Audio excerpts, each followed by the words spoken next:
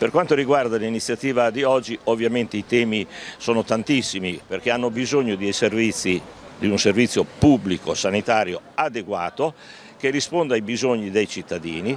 che si eliminino gli sprechi, che ci sia efficienza e soprattutto di avere del personale eh, a disposizione per dare una risposta ai bisogni perché non possiamo continuare a vedere i nostri pronti soccorsi, ahimè, intasati, poi la gente, ahimè, sbagliando ma colpiscono i lavoratori eh, della sanità che hanno la nostra solidarietà, ma non si risolvono questi problemi mettendo o arrivando a una mm, repressione eh, della gente. Abbiamo bisogno che in quelle circostanze abbiamo bisogno di dare una risposta mettendo a disposizione una riorganizzazione. Quali sono le priorità del sindacato? Allora, eh, ovviamente il problema della salute e soprattutto della sanità e degli operatori sanitari interessa ovviamente tutti. Le priorità sono di fatto per quello che riguarda eh, ovviamente sia il comparto che la dirigenza di tutte le strutture eh, sanitarie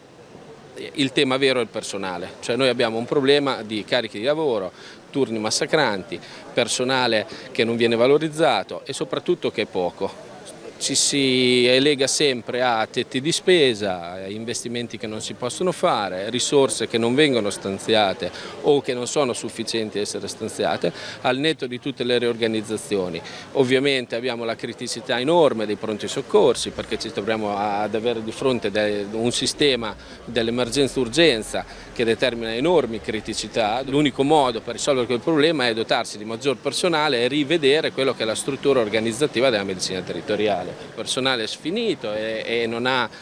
e, dire, è anche demotivato perché non vede soluzioni e non vede, non vede un miglioramento delle condizioni. No? Anche, anche, per quello che riguarda le valorizzazioni economiche siamo di fronte a un'ipotesi di rinnovo del contratto collettivo nazionale dove si parla di aumenti del 5%, perché poco più del 5% perché queste sono le risorse stanziate dalla legge di bilancio ed è una cosa allucinante e per questo sarebbe in piazza il 19 di ottobre a Roma per rivendicare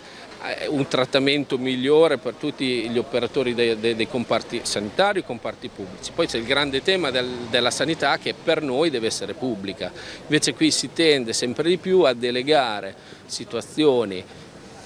al privato, di gestione al privato, non da ultimo parliamo ovviamente, c'è una determina di ieri che riguarda il sistema delle, delle residenzialità, comunità e, e SRR,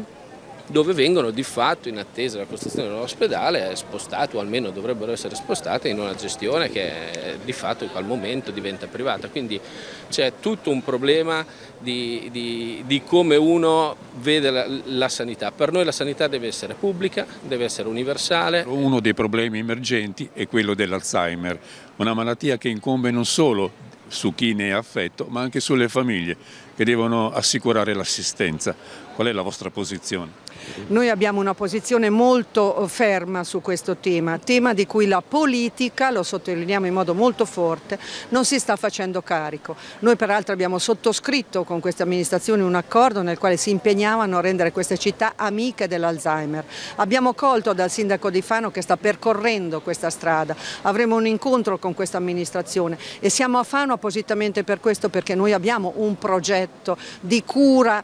il più possibile a casa sino a quando non c'è la necessità dire, di avere una struttura che ci accolga, ma abbiamo bisogno di diurni. Fano è uno dei pochi centri che ha un diurno con pochissime disponibilità purtroppo, ma è un sollievo enorme per quelle famiglie. Proprio a Fano abbiamo avuto degli episodi in cui le famiglie purtroppo quando non sono più in grado e hanno una sofferenza economica e anche psichica di accogliere i propri congiunti, ahimè